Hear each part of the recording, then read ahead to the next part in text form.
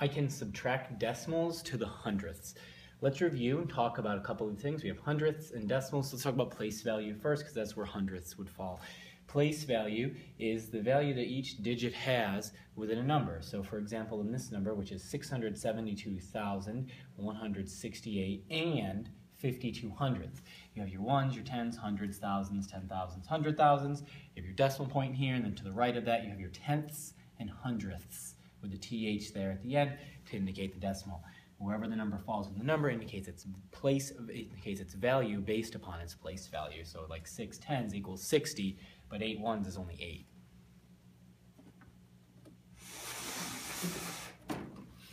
Remember, decimals to the hundredths are a lot like money, like 99 cents, 85 cents, 75 cents. Those are all hundredths, because it takes 100 cents equal to a dollar. The tenths can be, can, can be a little bit tricky, um, and they relate to hundredths as well. So like you have one tenth is written right here, 0.1, equals 10 hundredths. It's the same number, you just put a zero. If you look back to the addition video, you remember I said you can just add zeros to the end. So one tenth is the same as 10 hundredths, the exact same value in fraction form, it looks like this, 1 tenth, 10 hundredths. Think about it like this. 1 tenth is like a dime, 10 cents. It takes 10 cents to make a dollar, or it takes 100 pennies to make a dollar. 10 cents is worth 10 pennies, so one dime, 10 cents.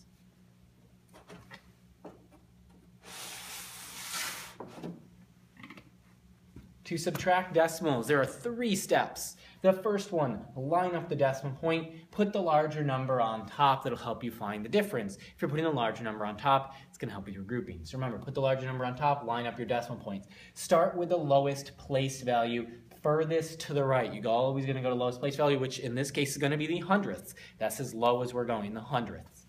Subtract. All right, so you might see your problems written vertically up and down or horizontally side to side.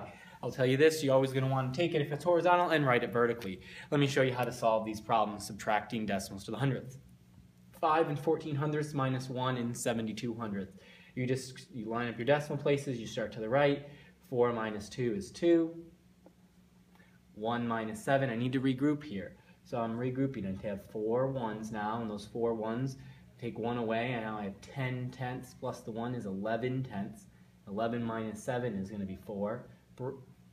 Oops. 11 minus 7 is going to be 4, not 7.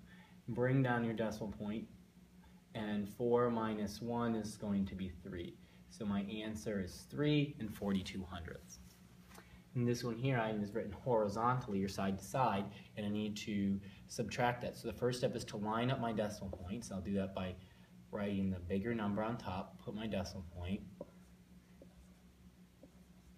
and I'm ready to subtract. What I notice here again is I'm, we have the 1 tenth, 4 and 1 tenth minus 3 and 70 hundredths. Well, I need more place values, so I put a 0 here, and that's just because everything to the right of that 1 is a 0.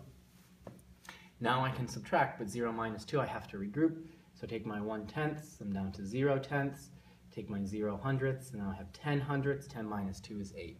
0 minus 7, I have to regroup again, so my 4 ones are going to become 3 ones. My 1 tenth is going to become 10 tenths.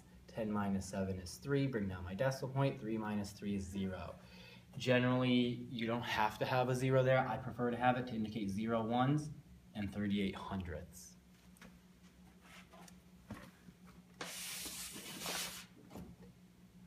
This is a little bit bigger numbers here. We have 8,212 and 300ths minus 4,562 and 78 hundredths. First step, line up our decimal points.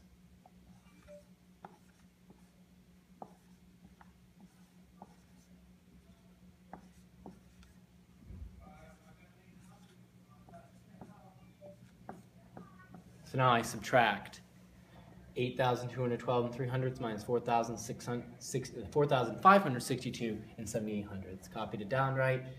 3 minus 8, can't do, need to regroup, can't regroup here, so we'll go, I go 1, this becomes a 10, then it becomes a 9, now I have 13, 13 minus 8 is 5, 9 minus 7 is 2, bring down my decimal point, 1 minus 2, got to regroup again, 11 minus 2 is going to be 9, 0, hmm, Gotta regroup again. 10 minus 6 is 4. Wow, there's a lot of regrouping in this one.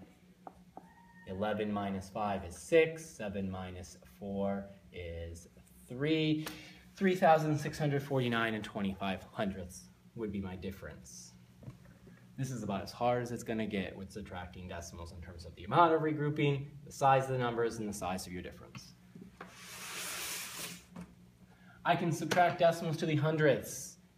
Note, this only goes to the tenths, so you're going to have to extend it out. 5 and 1 tenth minus 3 and 29 hundredths. See if you can solve that one.